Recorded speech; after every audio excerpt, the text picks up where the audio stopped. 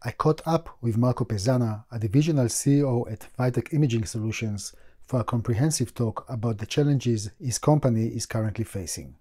The Cinema 5D virtual show is brought to you by B&H, the professional source for all your video needs. CVP, the leading specialist in creative cine, video and photo solutions. Atomos, better monitoring, better recording. Nanlite, professional lighting solution. And Blackmagic Design, creating amazing solutions for film, post-production, and television. Hi guys, I'm Johnny from Cinema 5D and welcome to our virtual show. Today I'm here with Marco Pezzana, CEO at Vitec Imaging Solutions. Marco, how are you? I'm great under the circumstances. Good to see you again. And usually we make uh, interview uh, interviews with camera manufacturers, CEOs, or people that are actually leading optical divisions and so on. Uh, and this is a good opportunity to talk to you as a person who is leading a whole division of accessories uh, department, different accessories, uh, bag, um, uh, sliders, and so on. So just for people that don't know or might not know the, your imaging uh, division. Can you please just tell us a little bit about what you do and um, what what are you um, what are you leading? Yes, uh, thank you, Johnny. Uh, my name is Marco. I'm leading uh, Vitec Imaging Solution, the largest division of the Vitec Group. Uh, my division focuses on photographers and independent content creators, and we provide brands like Manfrotto, Gitzo, Syrp, Joby, Lowepro, Colorama, Lastolite. So everything that you need uh, if you are a passionate photographer or a content creator, except camera and lenses. So this is uh, very impressive, and of course it brings a lot of uh, responsibility on your shoulders. But uh, in the current situation that we are in, all of us, creators and manufacturers, things are actually changing day by day. Do you think this is a temporary situation in the sense of from the business perspective, or this is something that you can see recovering uh, very fast right after the whole coronavirus is behind us? Well, hopefully, the uh, most challenging part uh, of uh, uh, the economic situation will be temporary and temporary will depend on how long the pandemic will last and how it will be controlled. But I believe that the challenging time that we are all seeing in terms of lack of consumption and the drop in demand is clearly associated to the lockdown measures, not to less end user appetite uh, for uh, creating and developing content. Uh, so I would expect, uh, uh, starting from the second half of this year, to see a progressive recovery of the industry. Equally, I don't think we will go back uh, to what it used to be fully, partly because that recovery will be progressive, but also because uh, end user behaviors and creators' behaviors will be impacted by the learnings of this period, and as a consequence, will change uh, some of the ways in which they produce, in which they share, uh, and where they buy. I do believe that this uh, situation also brings a lot of opportunities, not only uh, negativity. Uh, but I also believe that the ones that will not innovate might disappear. So, under your leadership, what are you doing in order to keep this kind of innovation and spirit of the company? Because obviously, as you told me before, everybody's working from home. Yes, actually, before we comment on innovation, uh, as you correctly mentioned, it is a very challenging time from uh, a, health and safety perspective, from a business perspective, from a social perspective. But there are positive elements that are emerging and that will also positively impact our industry. I just want to, uh, to share what are the positive drivers that we see at the moment. Uh, on the one hand, I think due to uh, you know the lockdown measures and extensive smart working, we are all seeing an increasing demand for let's call it corporate content, which is not necessarily just limited to the large corporations, but anybody who is running any form of business be it uh, a, a, small local veggie shop uh, to a restaurant that is now serving, uh, uh you know, takeaways, have discovered how important it is to have some form of content to produce to promote their business and i think that will continue. The same applies to individuals because uh, uh, you know, even private individuals who used the social networks previously to just post a picture uh, or a little video, they are now entertaining themselves by creating better content. I'm seeing amazing things, you know, from people who pretend to be scuba divers in their bedroom or climbing mountains, you know, in their sofa. And they've come up with an amount of creativity that I don't think themselves expected. And in doing that, they have learned to use equipment differently, also benefiting from the gigantic amount of tutorials uh, uh, and educational pro programs that are being made available for free at the moment uh, to the great benefit uh, of this population. So I think that will create uh, more consumption and more content creation of a better quality going forward. needless to say, e-commerce, you know, is increasing dramatically, and therefore there will be even greater need uh, for uh, high quality content production uh, for further e-commerce development. But there are also aspects like educational. I mean, all of our children studying from home uh, have actually opened, uh, uh, you know, the educational segment to a deeper penetration of content creation. and likewise, for example, when I think about medical and remote consultation, that's another great area for development in our industry. So there are, I think, uh, Uh, some very positive uh, uh, developments. Uh, and I think they are positive not only because they represent a future opportunity for the industry, but they also bring social benefit uh, as they get deployed and implemented. Now, in that context, we have decided, despite the challenging business times, to sustain our R&D investments and we are doing it uh, by working on three different levels short term, mid term, and longer term. So, in the immediate, uh, we are actually investing to repurpose some of our existing products uh, to the specific needs uh, that uh, uh, the pandemic have triggered. so, for example, there are some lighting products that are proving to be very helpful uh, in uh, temporary hospital and medical applications, and that's what we are doing. There are some supports that are phenomenal to support, uh, you know, thermal detectors for measuring temperature, and that's another application. So there is a lot that we are doing to simply adapt what we've got to the current needs. So, sorry, just to say to the audience that you're actually in Italy and that's that's why it's a very much tight connection uh, connection between uh, the situation of the country and and the information you're, you're giving us right now. Yeah, yes, we, we, we've seen it happening probably a little ahead uh, and to a deeper extent uh, than other geographies. Secondly, we are accelerating our uh, planned roadmaps in specific segments that uh, we see to be more in demand uh, going forward. And I'm referring specifically uh, to motion control, lightweight video supports, audio application, and smartphonography. so we had roadmaps established there. We are accelerating them to that purpose.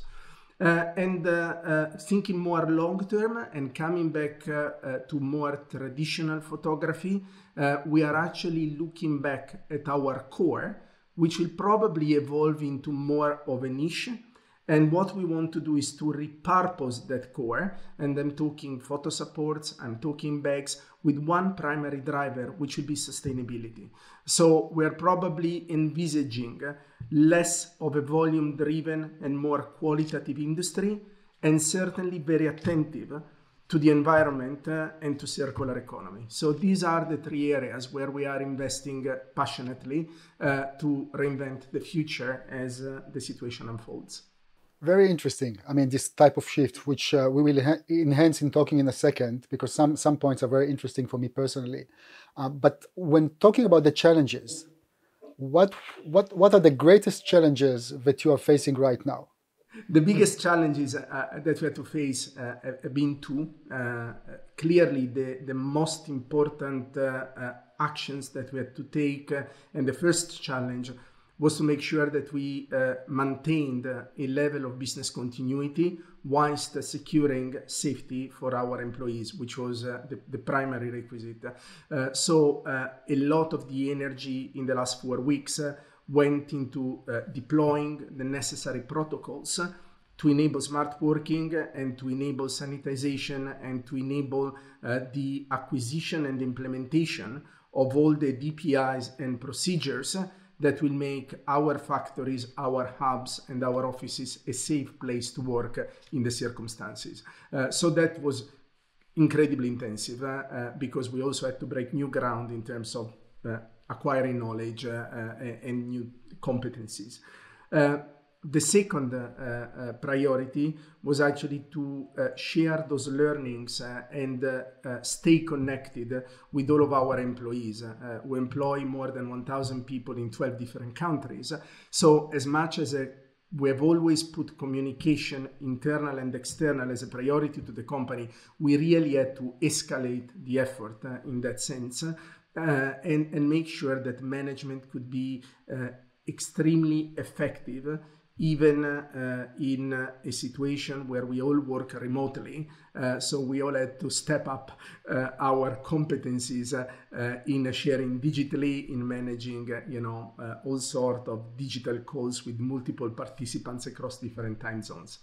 We know each other for many, many, many years, and in your nature, you are a very optimistic person. Meaning, if if anybody will catch a talk with you, you will and even in, during difficult times you will always see the uh, the positive uh, side of, or light of whatever situation there is this is i know firsthand um, but in a situation like this even if you are able to manufacture to a certain level and uh, the distribution uh, the, the, the, distribution uh, chain is a bit broken people maybe don't feel like really buying stuff so uh, uh, how how can you combat this? That's the thing. Your optimism and, and plans from one hand, and then let's call it the reality of the market right now. How, how do you balance between the two? Uh, don't, don't, don't take me wrong. I'm actually greatly concerned about uh, uh, the industry in the short term uh, because clearly, uh, for the smallest businesses and some distribution channels. Uh, the current lockdown situation uh, is uh, incredibly demanding. so that, that's a concern. and I'm also very sensitive to, you know, people emotions in general, uh, because unfortunately, uh, a lot of families around the world have been uh, very impacted by the events that the pandemic has caused.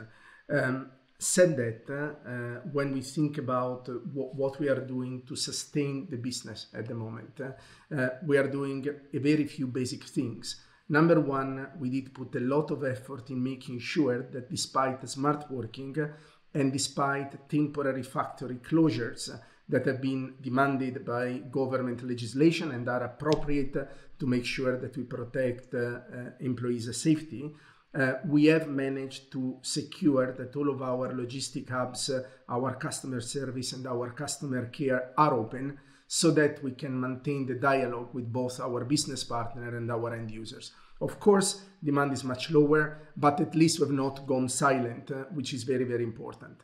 Uh, secondly, as I mentioned earlier, we are trying to rescope part of our product offer so that it is relevant. And by rescoping, it's not necessarily just changing the product, uh, but maybe is to make the product visible to people who may not expect uh, that product to either exist uh, or be useful to their needs. Uh, if they are not uh, imaging enthusiasts. And I can give you a very basic example right now. Uh, for it, we, so some of our products are very, very helpful to support smartphones or tablets and be able to share or capture better images if you are on an hospital bed. Mm. Or if you are a teacher and you are recording, uh, you know, classes uh, through uh, distant learning. Uh, so simply by rescoping some of our marketing contents and making them available through different social channels uh, or commercial channels, we are attempting to provide solutions to people who can really benefit from what we do just now.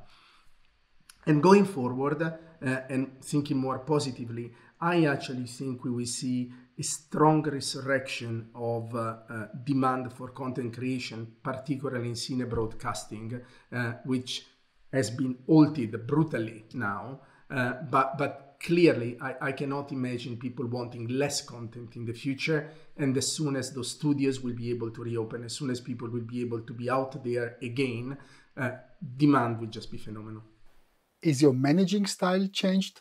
Because obviously you are managing those 1,000 people from home.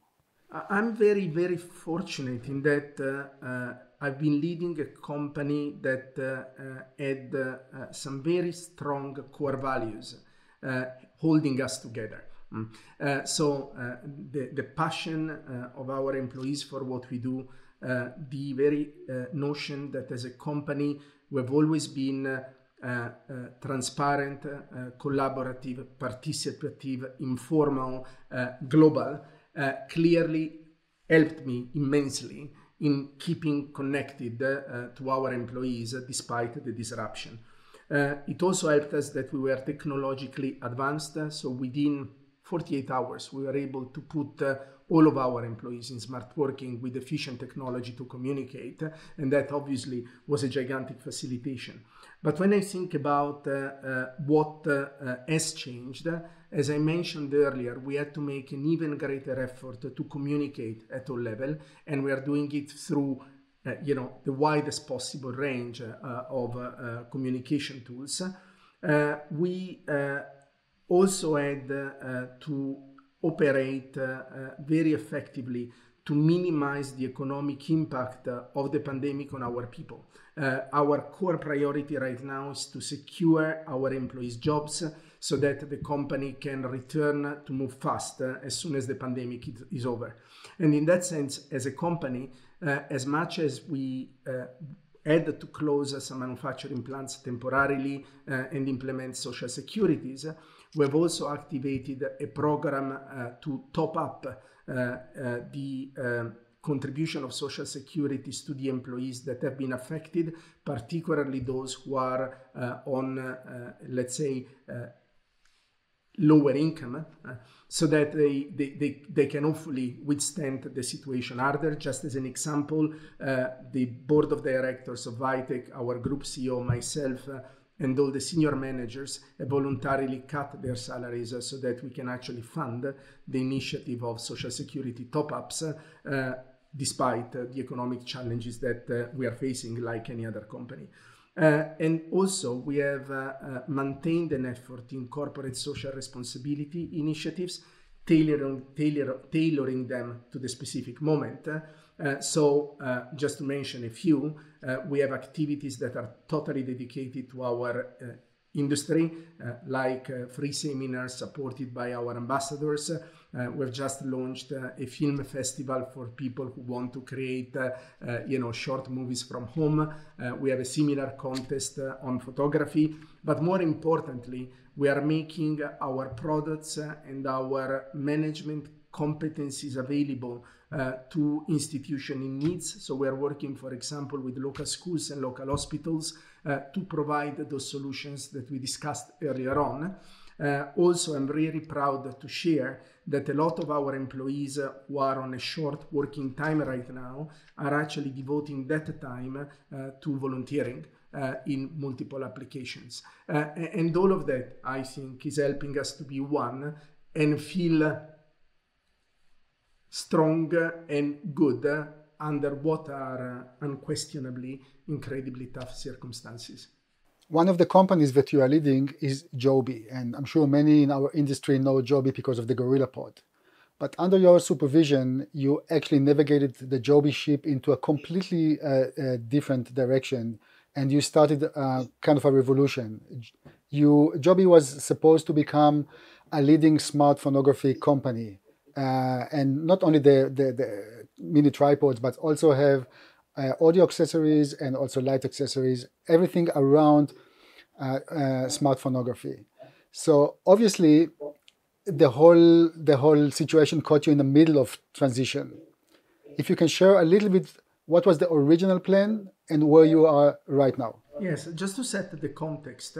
I think in the industry uh, prior to the pandemic, but this is still relevant, we have seen a number of years where uh, interchangeable lens camera declined because uh, entry-level DSLRs uh, had progressively been, let's say, cannibalized by smartphone, which I actually see as an opportunity to serve two different types of demand better. So as a company, what we see right now is that passionate professional photographers and advanced hobbyists will continue to be invested in better reflex technology and will continue to buy uh, the top end interchangeable lens cameras. And we will devote to those users our most professional brands like Manfrotto, Gitzo, and Lowepro. On the contrary, uh, the public that was previously served by entry level accessories for entry level cameras has now clearly migrated to smartphones uh, and smartphones that offer uh, better uh, imaging uh, capabilities than ever before. And this is why we have decided to devote Joby uh, to that specific application with a specific focus on Generation Z, because we are seeing Generation Z not only as the aspiring influencer and bloggers today, but as most likely, uh, you know, the population from where future content creation and professionals will come from. Uh, and this is why uh, back in January, end of January, uh, we started uh, a major campaign to present an extensive range of new Joby products dedicated to smart photography uh, and smartphonography and uh, uh, we uh, also changed or upgraded the brand proposition so that it could relate to Generation Z. that culminated in a large event that took place in Orlando at the end of February with a, a, an important social media campaign that was run primarily on TikTok. I'm really pleased to say that despite the disruption, uh, the launch was incredibly successful. Uh, we have achieved, uh, as of yesterday, more than 6.5 billion views on TikTok. We have more than 60 million uh, views on Instagram. Uh, so uh, that, that uh, may sound, uh, uh, if you like, a disconnect versus what the industry is experiencing as a whole. But actually, and again, thinking positive, it proves that the need for content creation and sharing exists and probably today Joby really serves the purpose not only with Generation Z, but with a million of other applications uh, uh, because we are all locked in. Uh, and clearly, uh, you know, we are recording this very interview with a smartphone. Uh, uh, you know, the, very much the same is happening across a multitude of businesses and social applications. So this leads me to the next question, which is about professional trade shows. NAB and other shows simply cancelled. Yeah. If I'm not mistaken, you're supposed to not participate uh, in this year's uh, NAB. What is your view about uh, um, industry exhibitions in a whole, and how? Uh, what is your future? What is the future? Because you're now talking about the marketing campaign that you made, which which you say is very is very successful. So obviously, maybe maybe those big shows are complete obsolete for you. No, uh, I think we need to put in the context, uh, our decision not to participate at NAB as Vitec Imaging Solution needs to be interpreted in the context of Vitec Group as a whole. Uh, as you know, we are made of multiple divisions.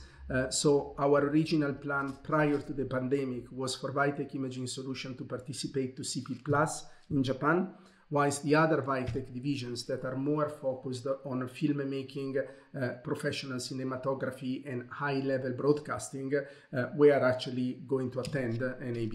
Uh, so uh, that that is fundamentally the group strategy where each of the division focuses on their core markets. Uh, I have to say that this is a reflection of what I introduced earlier on. So Manfrotto as a brand refocusing fully on professional photography and as far as motion picture is concerned, our primary target is a content creator who operates with a compact system camera. Whilst our sister companies in group, brands like Sachtler, Vinten, uh, Teradek, are clearly more connected to the higher level professional within broadcasting and cinematography. So that explains why no NAB uh, for our division, yet yes NAB uh, for other brands and divisions of the same group. Marco, before we, we wrap up this uh, comprehensive uh, conversation, anything else that you would like to, to say or share? Under the circumstances, uh, uh obviously, the, the, the, first thought that comes to mind is to use this uh, little opportunity uh, to wish to all of our business partners anybody we know in the industry, our colleagues, all imaging enthusiasts, our best wishes for good health in the weeks ahead, provided we stay safe. Uh, I am convinced that the industry will overcome uh, this very challenging time and we will find inspiration uh, from the challenge to reinvent ourselves. it is very tough now, but what I'm convinced is that images will continue to be uh, a core attribute of society going forward. Our industry reinvented itself since it started. I'm sure we will reinvent ourselves again uh, going forward. And in that sense, I maybe, you know, I, I want to wrap up uh, hoping that uh, our industry, but the world overall, we see some of the uh, positive behaviors that we are learning from this experience. I would have never imagined that we could manage uh, you know, a company of our magnitude through smart working, which actually brings social and environmental benefits. Just to mention one little thing, uh, it is incredible to see the impact, the positive impact on the environment uh, that the last few weeks of lockdown have brought. how much less we can use cars, uh, for example, uh, and in that sense be safer. So there are, you know, elements that we can learn from uh, and improve uh, not only the industry but society as a whole. And I hope we will play a positive part in capturing those benefits uh, and creating awareness of the positive learnings from this very unfortunate situation. Marco, so on this positive note, I would like to thank you very much uh, for joining us. And uh, guys, thank you very much for watching, and please don't forget to subscribe to our YouTube channel. Thank you.